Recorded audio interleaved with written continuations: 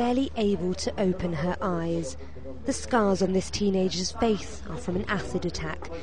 She was on her way to school, but after a brutal attack, she's here at this hospital in Kandahar.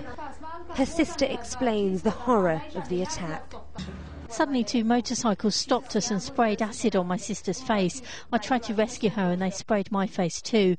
This teacher says she saw two men on a motorbike but couldn't make out who they were.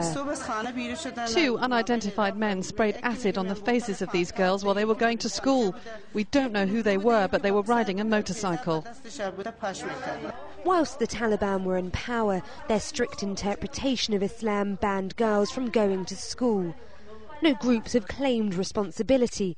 But violence in Afghanistan is on the rise, with the country's defence minister asking for more money and equipment to fight Taliban violence. Basma Fahim, Reuters.